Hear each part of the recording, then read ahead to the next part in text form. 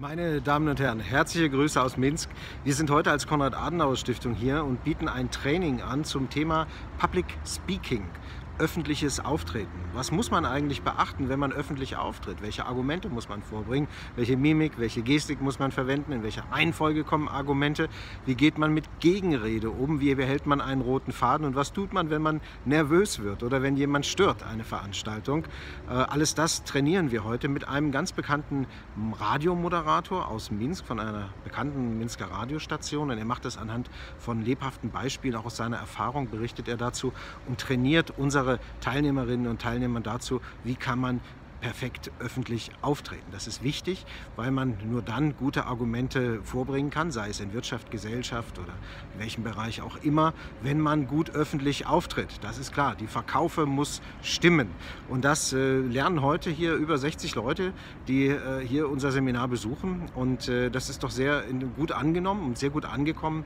Und wir freuen uns, dass wir mit diesem Thema so viel Aufmerksamkeit erfahren. Ich selbst freue mich auch, denn ich habe ein solches Training bereits in Deutschland absolviert vor vielen Jahren, als ich äh, Stipendiat der Adenauer Stiftung war. Also wir bieten sowas auch in Deutschland an. Öffentliches Auftreten, Rhetorik. Ähm, wir machen das aber eben auch hier in Belarus und in vielen anderen Ländern.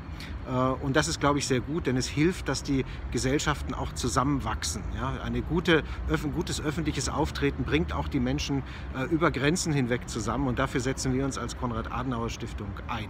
Stichwort Stipendiaten. Es gibt diese Woche einen Besuch von belarussischen und deutschen Konrad-Adenauer-Stipendiaten äh, hier in Minsk in Belarus. Ähm, es ist ein Seminar, das über Belarus informieren soll, zum politischen System, zum wirtschaftlichen System, zur Gesellschaft. Ich selbst werde dort einen Vortrag halten zum Thema politisches System der Republik Belarus. Ähm, und es gibt auch noch weitere Termine dort.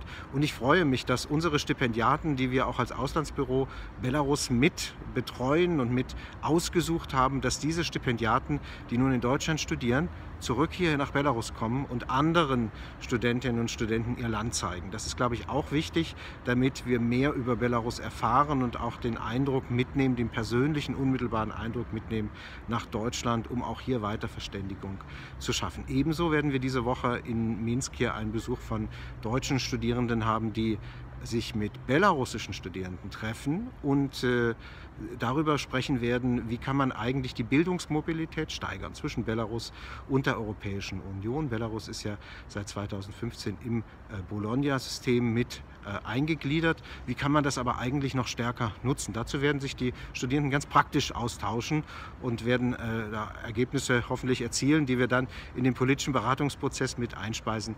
Äh, auch das ist ja immer die Aufgabe der Adenauer Stiftung, konkrete Vorschläge zu erarbeiten. So, vollgepackte Woche. Ähm, ich gehe jetzt zurück ins Seminar. Mal sehen, ob ich da noch was lernen kann, bestimmt. Äh, ich grüße Sie herzlich aus Minsk. Ihr Wolfgang Sender.